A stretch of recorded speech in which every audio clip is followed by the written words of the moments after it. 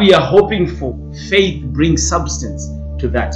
What we are desiring God to do. You know, there's there is a slight difference between faith and hope. There is a difference between faith and hope. So it says faith is the substance of things that we were already hoping for. Faith brings substance to our hopes. When I am hoping, I am desiring that things will get better.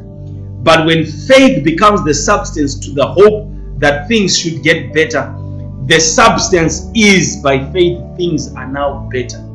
For what I have been hoping for, for what I've been hoping to see, things are now getting better. So hope says things should get better in the near future. Things should get better at any time from now. But faith says now things are better.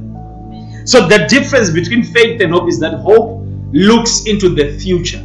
Faith operates in the now. So let's read again. It says, Now faith is the substance. Now, right now. Faith operates in the now moment. Faith operates right at the present moment where the you know where where, where the, the divine intervention or the supernatural is needed. Faith is the substance. So faith makes what we are hoping for tangible. Amen. Faith makes what we are believing God for.